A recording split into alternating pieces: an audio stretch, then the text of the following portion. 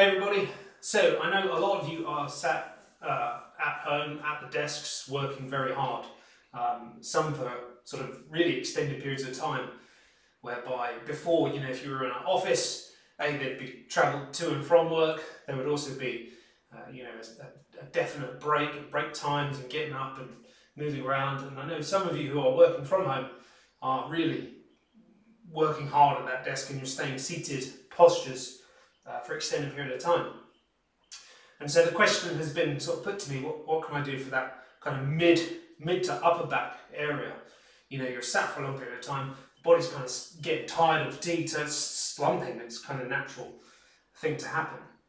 So there is a couple of things that you can try, by all means. Uh, previous post I did where it was just laying down flat.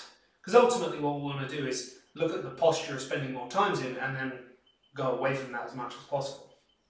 So have a look at that video where we just talk about laying flat or laying on a foam roller to lengthen the spine. But then uh, a really nice simple process that you can have a go at. Come down onto the floor, on your forearm, the, heart, the hand is open and on the ground.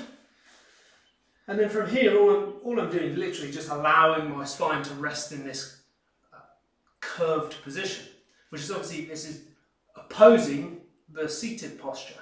Hopefully you don't sit like this, this would be weird.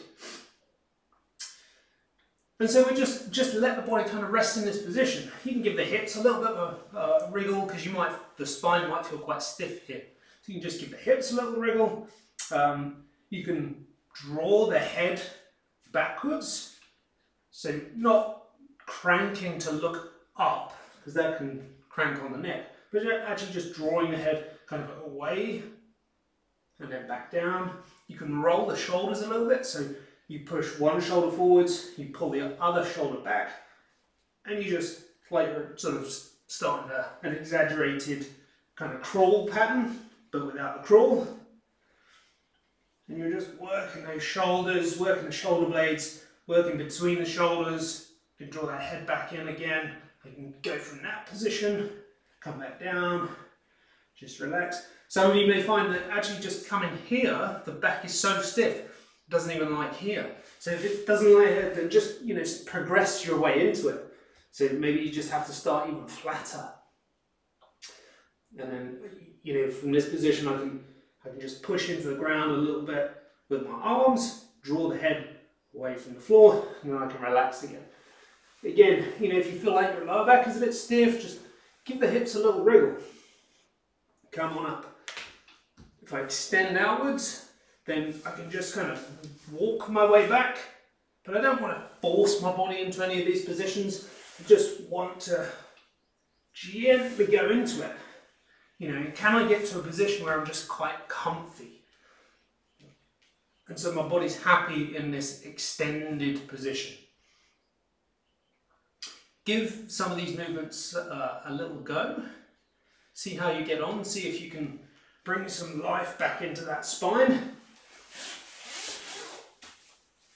And stay healthy. Give yourself, give yourself some time away from the desk during the day. Get up, walk around, lay down, do some mobilizations.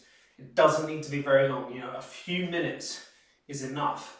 Um, and it'll give you a little bit of a mental break just to lay down on the floor and think about what your, what your body's doing. Obviously stay hydrated. Go easy on the teas and coffees, and if you're having a tea or a coffee, follow it with a glass of water. It's good for you, it's healthy for you. Um, so yeah, give that a go. And so until next time, my good friends,